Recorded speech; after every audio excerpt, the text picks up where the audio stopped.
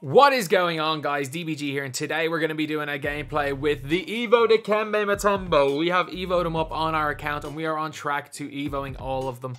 We're going to be trying to Evo every single card today. If you guys are new to the channel, subscribe. We're trying to hit, well, thank you, just, I don't even care what we hit. Thank you guys for 20,500. It's absolutely insane. But if you guys are new to the channel, subscribe because we're going to be getting as many Evo gameplays as possible over the next couple of days. Um, like, well, not over the next couple of days, over the next day. I'm going to have these all Evo today. But you can see right here, got him evoed, got him evoed, got him evoed. And once we get him done, that's the hardest evo's done. Jordan Poole's the next hardest, I guess, but the, we got a lot of the easy ones to come up. So like Jordan Poole's the only like stressful and annoying evo that we have left because it's like we're almost done him. Easy evo. He's actually not a bad evo. Easy evo. We're almost done. Almost done. Almost done.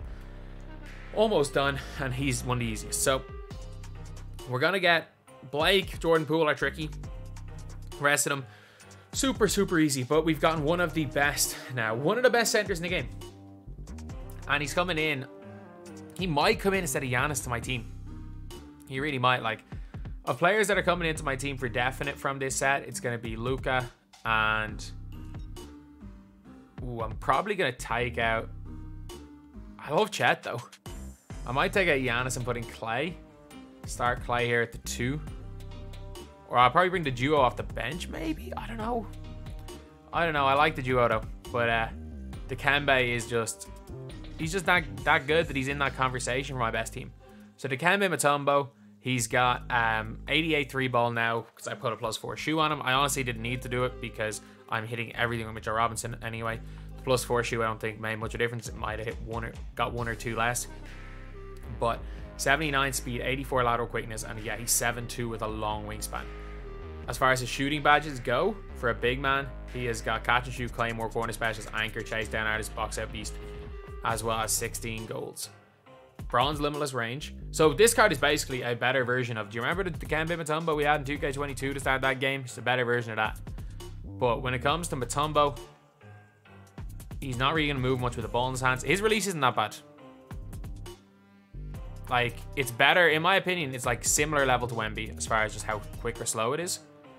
Like, I think it's a very similar jump shot to a Wemby as far as timing is concerned. Like, they're both slow jumpers and they're both super easy to green jumpers. It's a lot slower on current gen than it is on next gen. His fade is not good.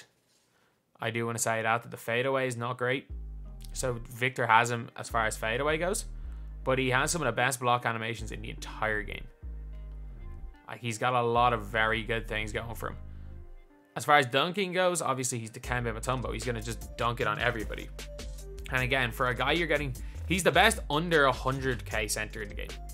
Like if you can't afford to lock in Wemby, you're this is the closest thing you're going to get to him. Like 40k MT for an absolute knockdown shooter. A pain to Evo. I'm not going to argue that, but it took me an hour to Evo him and Dennis Rodman. So it's a half an hour Evoing. Especially if you're on current gen, it's pretty easy. But yeah, it's worth it. You've got an absolutely elite popper right here. And an elite 5 out center who's also an absolutely elite defender. And his release is faster than Nick Claxton's. I will say that, it is faster than Nick Claxton's. But I don't think you should use him as a popper, if you get me.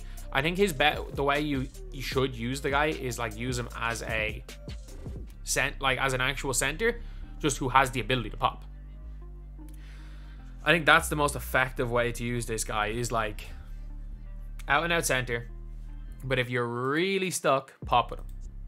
I think that's the best way to use him because otherwise, I think oh, he's he can be tough to use. It really can be tough to use. Um, because if you're trying to use him as a pure popper, the release is a little bit too quick. Or the release a little bit too slow, sorry. Because if you guys remember, like if you guys tried to use Nick Claxton as a pure popper, he's not what he it's not what he is. He's just a much better version of a Claxton. It's a weird team I'm playing against here. He obviously paid the 10 quid. Gonna pop straight away though. And we got the mismatch. Everything out of my way. Dunk it on him. You're still a big You're still the Dikembe Mutombo. Let's not forget that. Like Dikembe is still the Dikembe.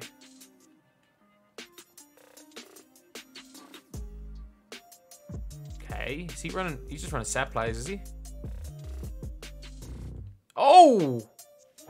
Kembe. It's fine.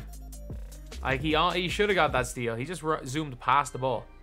He has now put Pascal on ball. Interesting. And he has left Dikembe wide open there for the shot. Yeah, you can't do that. Like, just like Rodman, they're not wide open. They're not like lights out shooters, but you got to respect them enough. You have to respect shooters in these games. Because a good player, especially a slow release shooter, will green every time. I don't know what you're doing there. You're obviously setting up a play that you can't set up, so... Oh. There's just no way, right?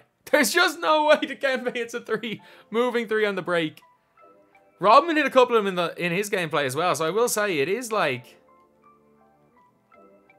It's one of those things where I'm like, you know... It's, uh... It's just, he's so easy to green. It's so easy to green. That's a third three and 11 points for Dikembe Mutombo.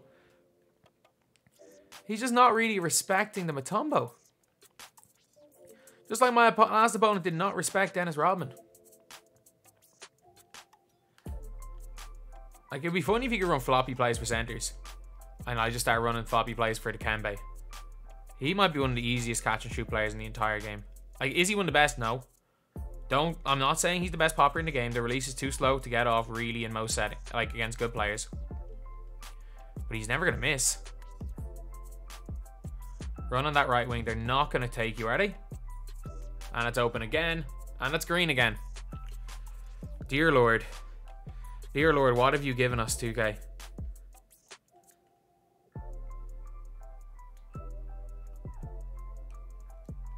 And it's open again. And it's green again. Like... Like, look, he's not Wemby. He might not be D-Rob. Is the release that much slow? It's a little bit slower in D-Rob's, but it's the easiest to green I've used this year. And it's good defense there by Rodman. To be fair, Rodman's release might be as easy to green. I guess all that time trying to Evo up um, Dikembe with a 29 three ball or whatever the hell he has. 29 because of his uh, shoe. He's making everything from that. So you shooting with him a 29 three ball that when the three ball goes to 84. Oh, we finally missed one. There's no way it's that, right? I was like, he, I don't, still don't think he has the fade. Or like the post game, really. Okay, let's drop. It's a good shot. My opponent can hit everything. Like, he's not missing with anybody. It's just we, we're hitting a three on every possession with Dikembe. That's a terrible pass, Luka. The lob was on. Okay, I, I need need Dikembe to start being Dikembe at the same time, though. Like, it's great and all, having him be Kevin Love, but, like, he also does need to be Dikembe. Oh, it's wide open. Apparently not. We have him, do we? Yeah, it's a good finish. Let's go. Still a big body inside. Still like very, very... Like there's a reason why he's so good. Where we were so hyped about this guy. Okay. Hit him on the pop. In Iverson's face. Iverson and he missed. Fair play to Iverson. We're good. Is he just shooting heavies in my face? I genuinely think his tactic is to shoot heavies in my face. And that's a huge board. Like, Bill Russell's a good rebounder. That's not easy for Dikembe to go and get that board over Bill Russell. I'm gonna shoot the fade. You know what? I want to see what he's like in the free throw line. Super nice free throw release. 38%. What is his free throw? 58 still. Doesn't get better. Man, this is just better Nick Claxton. Good defense. Can't hit a free throw, but he can do this. Green. Oh, I missed again. Oh, it's like I just forgot how to shoot with him.